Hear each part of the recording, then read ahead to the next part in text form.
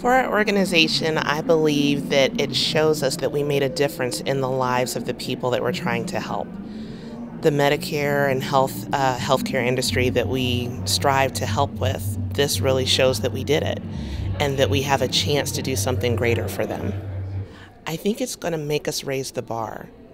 We don't believe in just staying where we are. We have a motto in GoHealth of there has to be a better way. So this is going to drive us to say let's go higher and see what else we can do for our customers.